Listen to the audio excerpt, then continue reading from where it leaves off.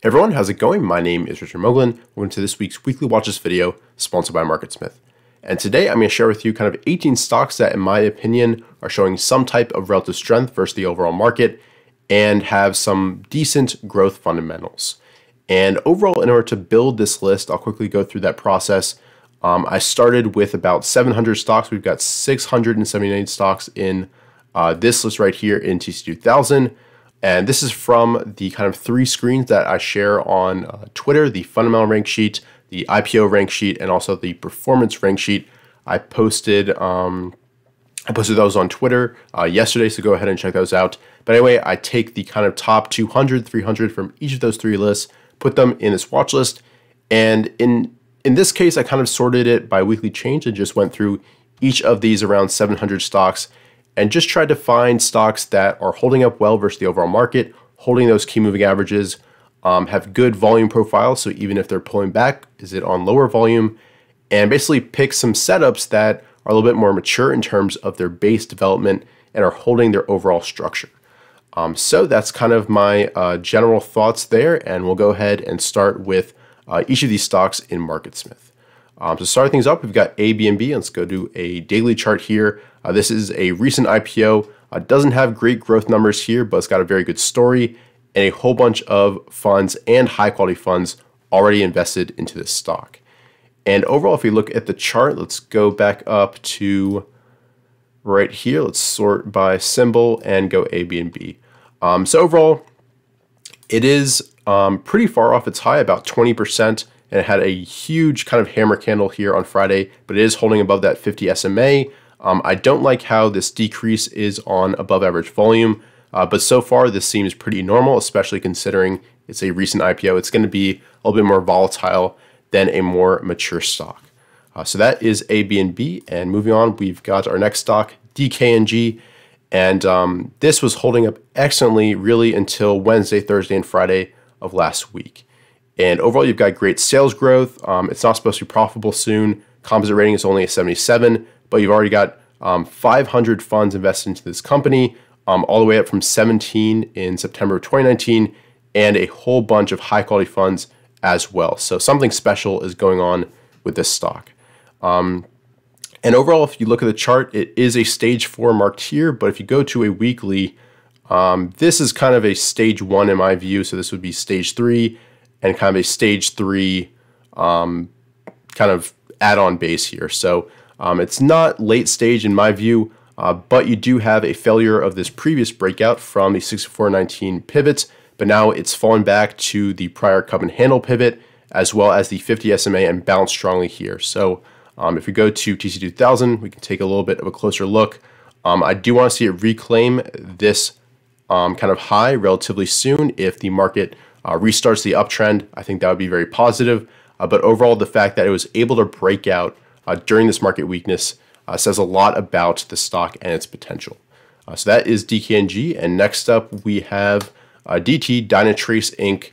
Um, and overall, you can see great growth here in terms of earnings and sales. Last quarter earnings up 70%, sales up 28%. So not quite as high growth as these three previous quarters, but still pretty good. You've got great estimates for 2021. Uh, the overall comms rating is a 94. Nice growth in fund ownership and four high quality funds in there as well. And um, I like how it's kind of holding this pivot from the stage one consolidation uh, really well. Nice hammer bars on this day and this day as well, and support off the 50. Uh, so nice confluence here um, with that setup. So overall, uh, looking at the technicals, it looks pretty good. Um, this isn't the prettiest space here, but I like how it's had a strong prior uptrend from um, its recent IPO base and now has pulled back nicely um, on pretty much low volume, except for this day right here, which is actually a positive day uh, given the nice um, closing range here. So it looks pretty good and it's back above that pivot. Um, and that pivot is at um, 48.85. Um, so that is DT. And next up, we've got GM. Uh, not necessarily um, the classic growth stock because it's more mature, of course. Uh, but recently it's gotten great growth. You can see earnings up 999%, so up 22%. Um, not the greatest estimates for 2021 or 2022, and the revisions are down, which I don't like to see. The overall composite rating is an 86, uh, but you've got decent growth and fund ownership, slow and steady, and Fidelity Contrafund um, starting a position as well recently, which is interesting. Um, so that is GM. You can see it's moved up from a stage to cup and now has formed kind of this consolidation um, right above this pivot. So uh, looks pretty good. And overall, looking at the price and volume action, uh, pretty decent, especially considering um, we are in a market in correction. RS line is pretty much um, flat, but it definitely showed some RS. Last week, you've got nice kind of tails on this day, this day, and Thursday and Friday. So it looks pretty good. And holding above these key moving averages, I think is extremely key. Um, and I really like how overall it's formed a higher low while a lot of stuff has undercut uh, this previous low. So uh, definitely very interesting. And moving on, we've got our next stock, which is Google. And overall, not the greatest growth numbers, but slow and steady, of course. Uh, decent estimates for 2021 and 2022. Composite rating is a 98. Um, growth in fund ownership, and obviously a whole bunch of high quality funds in there as well. And overall, looking at the chart, you can see it's moved up from a stage 2B and is forming this nice shelf here above 2000 and had some really nice action last week. Um, so going over to TC2000, you can see that it had a nice gap up um, on volume and now it's holding above the 21 EMA. Uh, looks very, very good. A three bar break to the upside on this past Friday and RS new high before price on Thursday and Friday. So uh, this is holding up better than Netflix, Amazon, um, Nvidia, a lot of the other kind of larger cap um, names. Um, so definitely something to be interested in, um, especially if you're into more mature blue chip companies. Uh, so that is Google. And moving on, we've got InMode. Um, and taking a look at the earnings and sales, you can see last quarter was very strong. Earnings up over 100%, sales up 60%. After tax margins also uh, very great um, at 53%. Uh, decent estimates for 2021 and 2022, nothing crazy. Overall composite rating is a very strong 98. Uh, nice growth in fund ownership and one high quality fund in there as well. And it did fail, similar to DKNG, um, a breakout attempt to new all time highs. Uh, but so far, it is kind of holding within the structure right here um, and is holding above 60 and the 50 SMA. And I don't like the volume coming in on Thursday and Friday and the wide ranges here. Uh, but if it can kind of tighten up once again back within this kind of shelf, I think that would be very positive um, given the overall market conditions. And you can see the RS line has just been increasing uh, very strongly during this uptrend, but has pulled back uh, given this breakout failure. Um, so that is InMode. And moving on, we've got LLY, a pharmaceutical company. Um, and overall, decent growth this past quarter, earnings up 59%, still up 22%. Uh, margins are good. Uh, not the strongest estimates for 2021 and 2022, but it's very steady. Um, and the overall comms rating is an 89.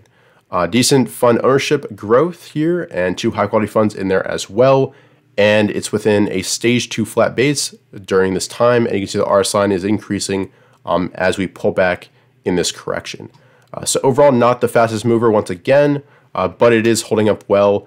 And it's good to have a few of these kind of slower moving stocks uh, to balance out the higher volatile recent IPOs um, that can go up and down 4% in a day. So overall, definitely showing some RS here, and ideally, um, it continues to move up here and challenges this pivot. Uh, so that is LLY, and next up we've got Lyft. Um, it doesn't really have any growth numbers here. It's very much a story stock. Um, and it's not supposed to be profitable in 2021, but is supposed to be profitable in 2022, interestingly enough. Uh, the composite rating is only 59, but looking at the fund ownership, you can see a gradual increase and one high quality fund in there as well. Um, and it's very important to keep in mind kind of the um, the life cycle stock is in because you can see it's still within its IPO due diligence phase under this kind of longer term high. And you've also got this kind of significant point of resistance that it could be dealing with relatively soon. But overall, showing a ton of RS here, especially on a weekly chart, uh, given this nice move uh, during the overall market weakness. Uh, so that is Lyft and moving over to TC2000. Um, once again, you can see nice volume coming in, big blue bars, uh, nice move up, powerful move up here, uh, move sideways, and then the RS line really increasing strongly um, to end last week.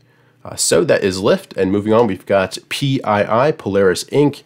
And if we go back to a daily chart, you can see great earnings the past two quarters, over 70%, both of them, and last quarter earnings up 83% as well.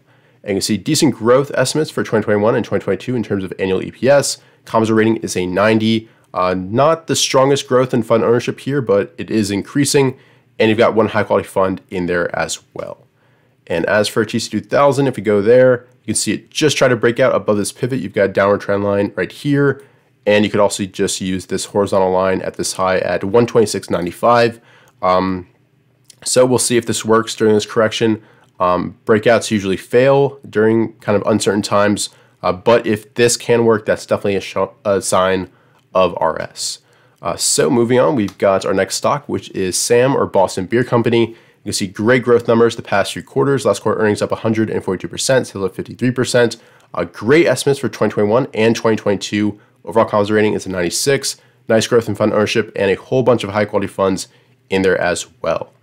And as for the technicals, you can see it's right at the pivot of the stage two consolidation here, standard pivot of 192.8. And it did pull back from a breakout attempt, but it's still holding within the structure here and found support at the 50 SMA. We've got two really nice tail bars here on these two days and a nice bar as well on Friday. So looks pretty good, and we'll see if we can retake this pivot. Uh, moving on, we've got Snapchat, which isn't showing quite as much RS as um, a lot of the other stocks on this list, uh, but it is holding above the 50 SMA here, as you can see here. Uh, great earnings the past two quarters. It's not supposed to be profitable in 2021 or 2022. Uh, the composite rating is a 96. You can see a great increase in fund ownership and for high quality funds in there as well. And as for the charts, um, as I said, it is kind of um, pulling back dramatically here, uh, right back from all time highs down to the 50 SMA and it could obviously need a, a lot more time to build out a proper base, a five, seven week base, uh, but it is holding above that 50 SMA, and this decrease wasn't really on high volume. Um, so we could give it the benefit of the doubt, and this is kind of an early pullback to the 50 SMA. Uh, this is the second touch of that key moving average after this huge earnings breakout on volume. Uh, so that is Snap, and next up we've got uh, Sono. Um, and overall, this has been trending beautifully from another earnings gap up. Great earnings the past two quarters. Um, estimates for 2021 are positive, and for 2022, EPS is supposed to increase 20%. Uh, the overall comps rating is a 98, so very strong there. Uh, nice growth in fund ownership and one high quality fund investing into the stock as well.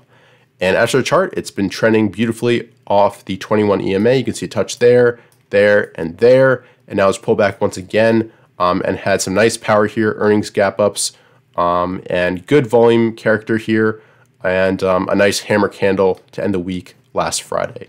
Uh, so that is Sono, and next up we've got SSTK or Shutterstock Inc.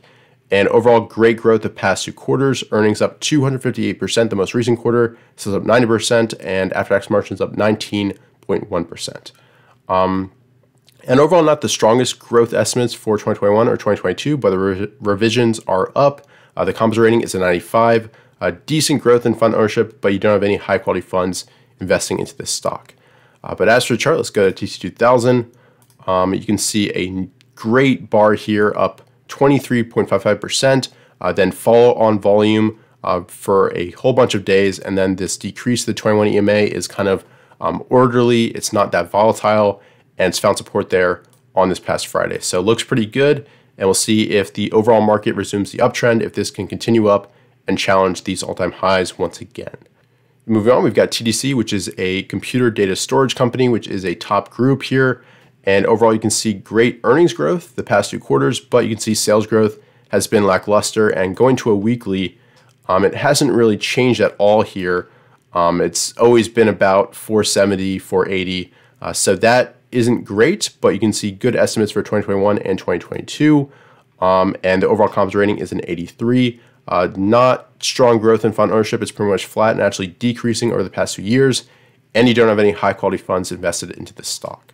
But if you go ahead and look at the technicals, you can see a huge gap up here on large volume. And then once again, an orderly decrease um, to the 21 EMA. And during this kind of market weakness here, it hasn't quite been as volatile as other growth stocks. You can see this range here is only about 8%, while we're seeing a lot of 10, 15% even.